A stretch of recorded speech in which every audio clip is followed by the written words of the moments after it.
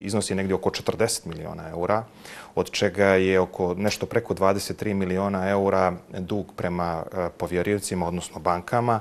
Oko 8 miliona eura dugujemo e, Poreskoj upravi, a nešto preko 5 miliona našim dobavljačima. Iz vlade smo više puta čuli da je plantažama potrebna hitna finansijska inekcija od najmanje 5 miliona eura. Pominjao se i model dokapitalizacije plantaža od strane vlade.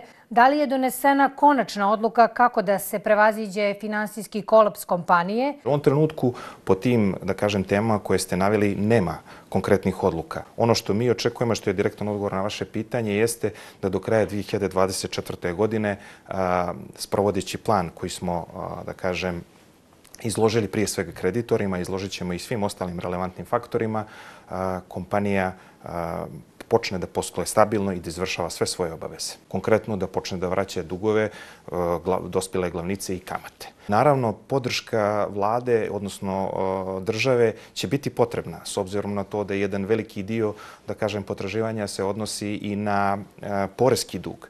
Tako da reprogram poreskog duga je definitivno nešto što ćemo morati da rešavamo sa državom. Govorilo se o tome da postoji višak zaposlenih u administraciji plantaža, a s druge strane manjak radnika u vinogradima.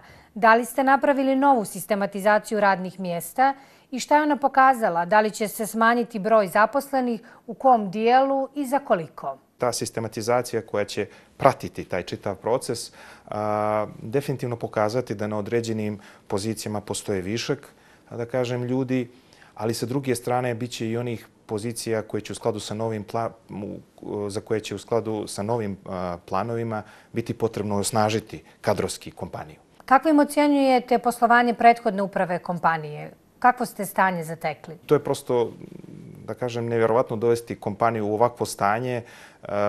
Možda najbolje govori o tome kako su radile prethodne uprave. Da li je nova uprava plantaža istraživala kako je došlo do sklapanja ugovora plantaža pod rukovodstvom Verice Maraš sa kompanijom OMP Inženjeringa u vezi sa osnivanjem fabrike briketa.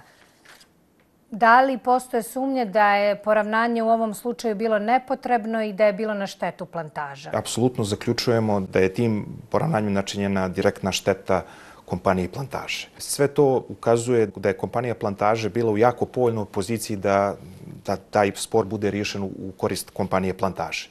Međutim, jednom jako čudnom odlukom kompanija je odlučila da odustane od sudskog procesa, da sklopi vansudsko poravnanje i da na taj način se odrekne potencijalne nadoknade štete koja je procijenjena oko 3 miliona eura od strane firme OMP Engineering. I ne samo to, nego da firmi plati da firma OMP Engineering plati po tom poravnanju negdje oko 1.350.000 eura. Dakle, nesumnjivo je načinjena šteta. Sve nalaze koje budemo imali, eh, mi ćemo proslijediti nadležnom tužilaštvu.